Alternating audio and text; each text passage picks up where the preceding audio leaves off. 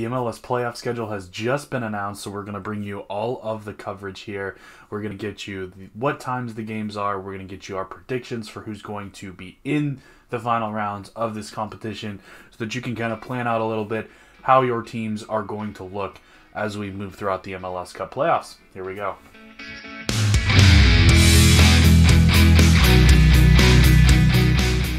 Welcome into another video on the channel. This this is Chris, the MLS card guy, and today we have MLS playoff preview video part two for you guys.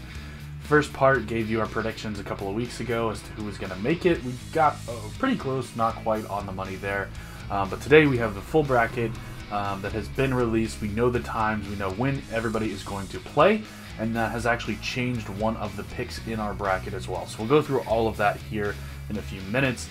Uh, just as a forewarning, I apologize for my voice is starting to go a little bit, so I'm going to try to make it through this video as best I can, but just bear with me if my voice cracks at all, guys. So here we go.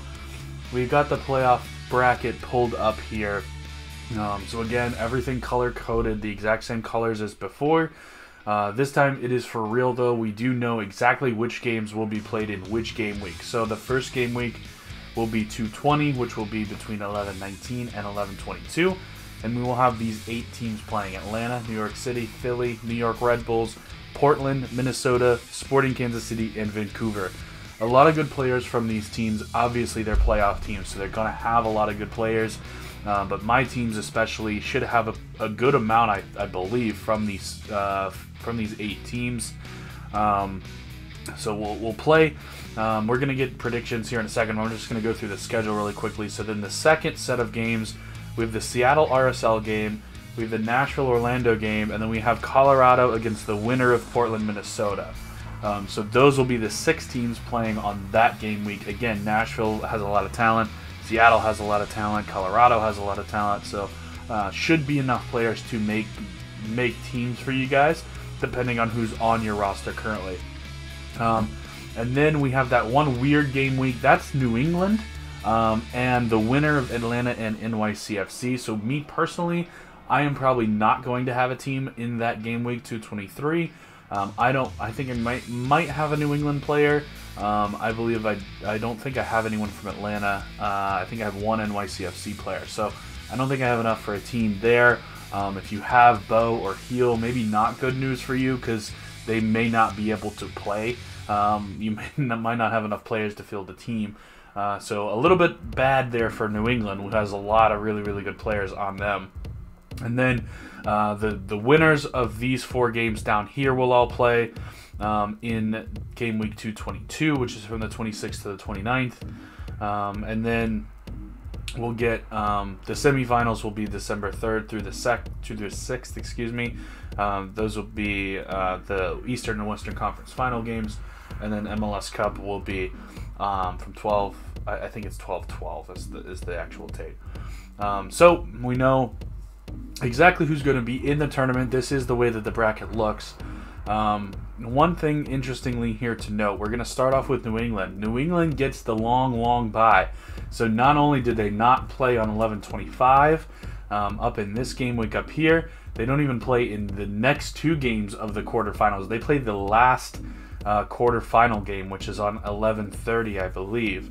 Um, so they're actually in game week 223.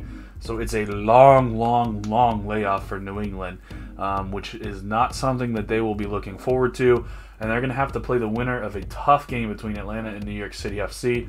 Whoever does come through that game is going to be uh, hyped up and ready to go. So that is a, definitely an upset spot there for New England. Um, I'm actually going to take Atlanta to win. Um, I think Atlanta can go on the road.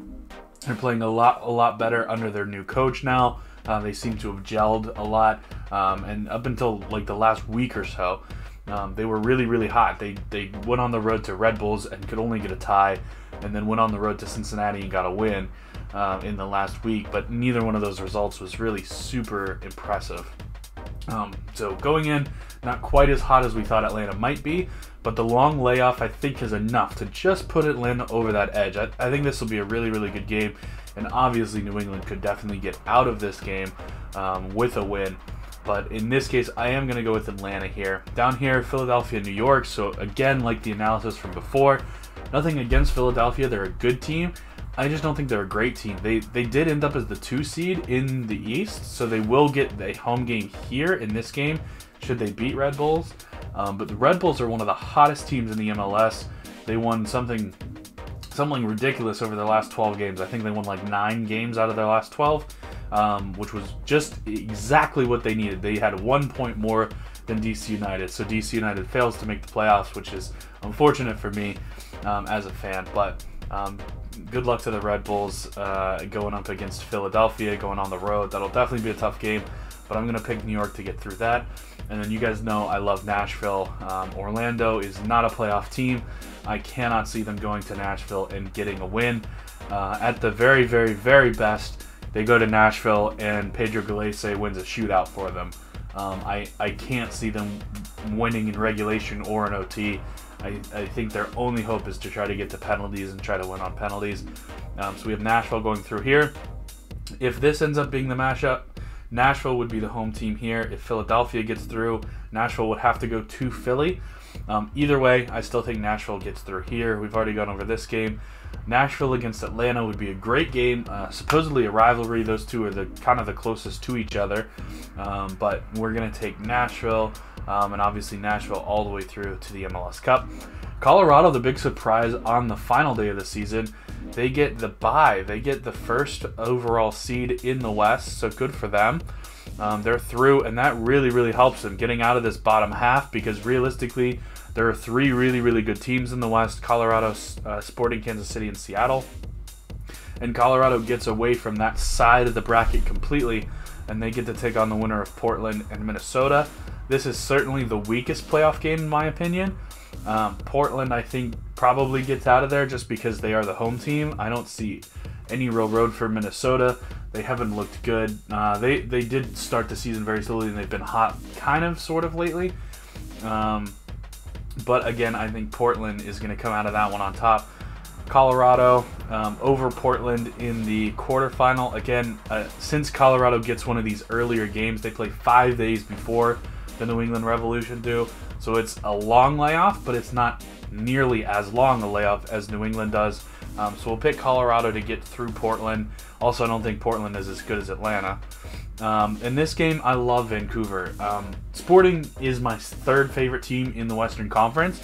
So if Sporting do get through, I think the winner of this game ends up getting into here. Um, but I think Vancouver has what it takes to go on the road to Sporting Kansas City. If it gets to a penalty shootout, Max Crepeau is one of the best goalkeepers in MLS. I trust Vancouver to win a shootout. Um, and if it doesn't get to to um, to penalties, then I think Vancouver has a has a really good shot as well there. Um, just based on the fact that since they have switched their coach, they have been one of the hottest teams in MLS. They have a ton of talent, um, really, really underrated. Nobody really gets to watch them play, but I've watched four or five of their games, and they are always, always, always um, controlling the game and really, really dominating the game. They, they did so against Seattle. I watched their game on decision day. Um, they, they really bossed Seattle around.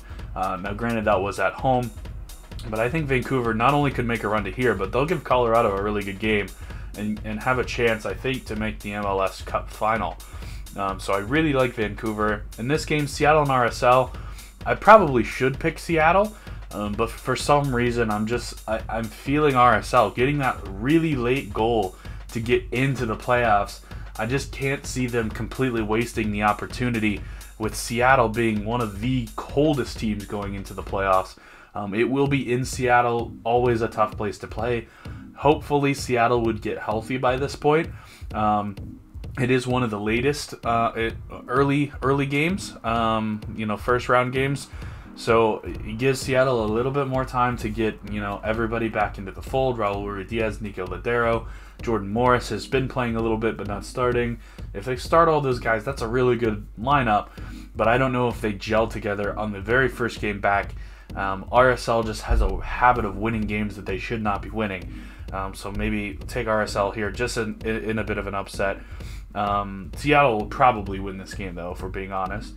Um, and again, I like whoever comes out of this SKC Vancouver game to get into the Western Conference final. Um, so we have Vancouver winning that game. They get all the way to the final and lose to Colorado. Colorado against Nashville for the MLS Cup. and obviously we have Colorado win or uh, Nashville winning. So. Uh, hopefully you can plan your teams a little bit and get a little bit of a head start on maybe if you have to pick up an extra player in order to play for a game week maybe you get that player now because um, the price is going to continue to climb as we hit off season everybody's kind of sold off their teams um, so i think we're going to start to see people buying into players especially now that some of the teams are over I think we're going to start to see prices rise here very, very quickly.